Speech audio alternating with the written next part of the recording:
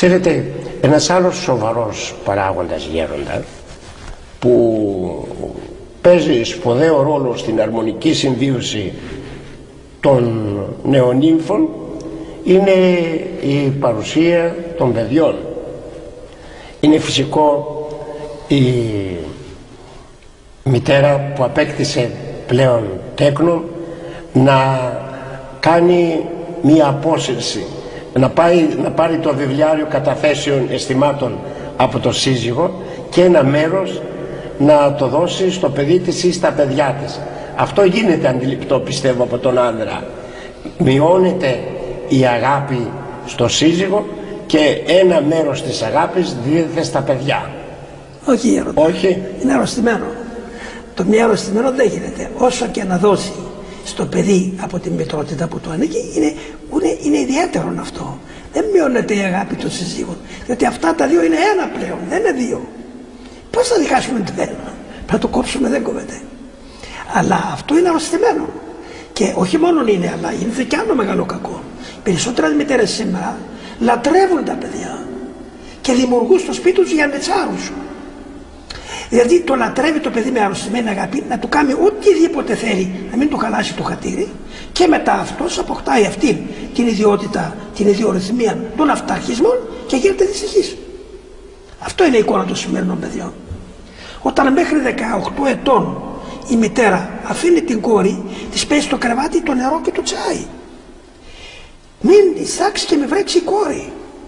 Αυτή η κόρη λοιπόν, αφού αντράφηκε με αυτό το θέμα, πώς θα αντέξει αύριο στη συζυγία, στη σκληρότητα των κυμάτων του βίου. Και να μιλήσει ακόμα και ο άντρας με λίγη αυστηρότητα. Πού το είδα αυτό; Ω Παναγία μου. Αυτά όλα διαστροφή. Αυτά γίνονται σήμερα. Εγώ δεν είμαι χίλιο χρονών και εσείς μου τα ξέρετε. Θυμάμαι εγώ καλά από την οικογένειά μας. Εγώ έβλεπα, με έπαιρνα μικρό παιδάκι καμιά φορά όταν θα γινόταν γάμος. Και πήγαινα και εγώ και έβλεπα. Την ώρα που άλλαζε ο, ο ιερέας τα στέφανα, αυτή την ώρα έβλεπε καλά ο άνθρας στη γυναίκα και η γυναίκα τον ποιος είναι; καλά είναι Ναι, όχι, κοίταξε να δεις τι θα πω άλλο. Λοιπόν, αυτά είναι γεγονό φαίνονται ακραία, ότι ήταν τα συστήματα τώρα τέτοια. Αλλά είδες ότι σε αυτή την περίοδο ακούστηκε από τα διαζύγιο; Και τα παιδιά γίνονταν έτσι. Εμείς μεγαλώσαμε κοντά στους γονείς μας. Σε απόλυτον αγάπη, όχι έλεγχο. Αλλά υπό την καλή έννοια της αγάπης.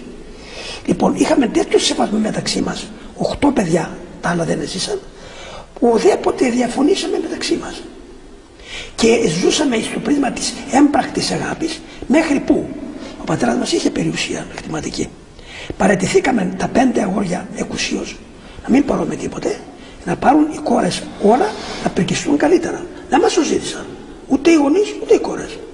Μας το επέβαλε η ενδόμηχος αγάπη που ανατραφήκαμε μέσα στην ηθή. Αυτή την αγάπη των γονέων και μεταξύ μας. Σήμερα που υπάρχουν αυτά. Η ανατροφή είναι σφαλμένη. Δεν είναι υγιής. Είναι μεροληπτική. Είναι αρρωστημένη.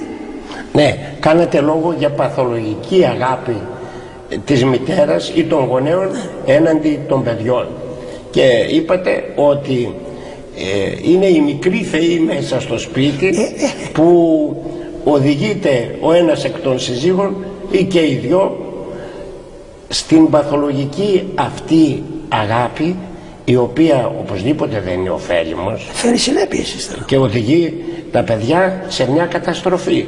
Διότι βλέπετε κάθεται ε, το παιδί τους στο γραφείο να διαβάσει και λέει «Μαμά φέρε μου νερό»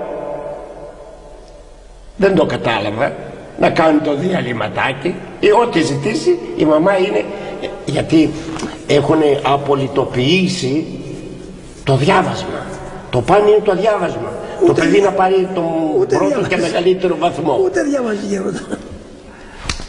όχι δεν Είναι διαβάζει αρρωστημένα όλα, είναι Αλλά αρρωστημένα. όμως δεν θα πρέπει η μάνα να, ή ο πατέρας να υπηρετούν τις αδυναμίες των παιδιών Έτσι είναι.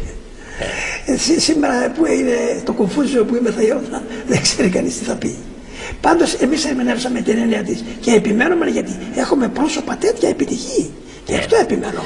Ξέρετε όμως, πολλές φορές ακούμε γέροντα τα παιδιά να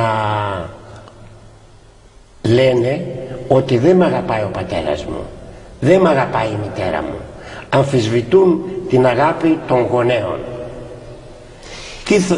Δεν δεν το επενούμε αυτό, φέρνουν είναι βέβαια αλήθεια. και κάποια χαρακτηριστικά παραδείγματα τα οποία ομολογουμένως είναι συγκλονιστικά Σας είπα Γέροντα, σήμερα η διαστροφή που υπάρχει δεν μπορούμε να τη βάλουμε βάση να ομιλήσουμε πάνω στη διαστροφή.